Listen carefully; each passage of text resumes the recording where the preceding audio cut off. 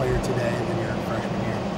Uh, just just knowledge and wisdom. Uh, we have a lot of leaders in our defensive room, so just learning from those guys and, and taking in what they have to say really helps and really good, improves my knowledge and my wisdom in the game. So. The linebacker group, especially, um, just what have what have some of the leaders done uh, for you throughout the game? Uh, down to technique, um, technique, just the verbiage of the game. They they just taught me how to lead, and, and that's one of the biggest like improvements that I've done. They taught me how to lead and, and really demand more out of myself. So. You have a unique skill set. What have the uh, defensive coaches been able to do to, to help take advantage of those and some of the things maybe you guys want to do on defense?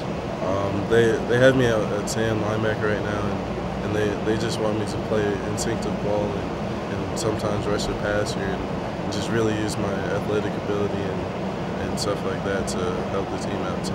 How tough is it going to be to share the wealth? I mean, you guys are probably the deepest unit on the entire team. There's so many talented linebackers. How hard is that to sort of carve out a niche and, and be patient?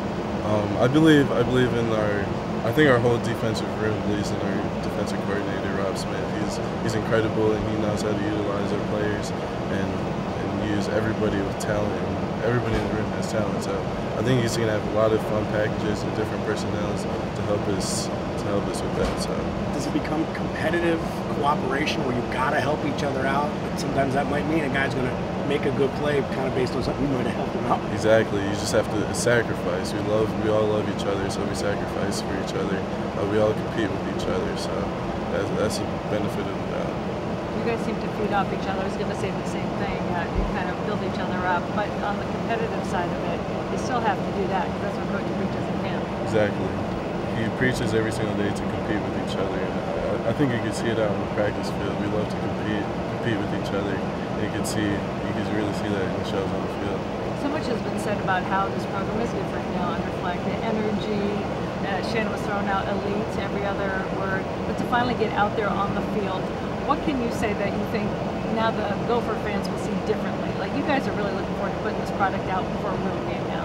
Yeah, Shannon was right. You could really see like the energy, the elite energy that comes out of us, and, and we demand leadership out of each other. You can really see players start to lead, and and you can really see that on the field. So you'll see that during the fall. A little over a week away from the game now. How, how eager are you to, to get to kickoff? Oh man, it's it's right around the corner. Um, Buffalo, they're they're a good team, so everybody has to stay focused. We have to demand a lot out of each other, and and game day's ten days away. So I'm excited for that to get going. Well, how, how different is it this year, having gone through a college football season, knowing what to expect, knowing how you have to prepare? Um, like I, like I said before, a lot more wisdom, a lot more knowledge. Um, you get to see a lot more different formations that you've seen before. So I mean, just take that all in and, and just use a lot more mental game than we did physically your freshman year. So. Was there a point during your freshman year where things slowed down and you felt like you had a firm grip on what was going on? Yeah, definitely. A lot, a lot of, a lot of the coaches and uh, the players helped things slow down, helped slow down things for me. So, so that, that was a big benefit for When you're playing as a true freshman that much, does it feel like at times it was going really fast? Pardon me? When you're playing as a true freshman and playing that much, at times with the speed of the game really fast? Oh yeah, that was one of the biggest differences from high school to college, the speed. So again, players helped uh, develop that into me, and that, that helped a lot. Did quarterback change from playing quarterback in high school? Did that help you at linebacker in college? Oh yeah, um, just helping with the formations, recognizing formations. It helps me play more instinctive ball, so that, that's a big benefit. What are some miss playing things quarterback the at all? core does together that sort of like help with growth as a team? Can you say that? Yeah. What are some things the linebacking corps does together, like either on or off the field, that sort of help with growth? Um, well, on the field, we compete with each other. Um, I think we have one of the deepest, um, deepest depth-wise linebacker groups in, in the Big Ten. So I think, I think we, we compete very well with each other, and we help each other. I mean, we're a team. We love each other, so we sacrifice for each other. You miss, miss playing quarterback at all? Or sometimes you're during a practice like, man, No, I always mess around with Coach Ciarrocca saying, hey, I can still throw the ball a little bit, but I love playing linebacker. Linebacker's amazing.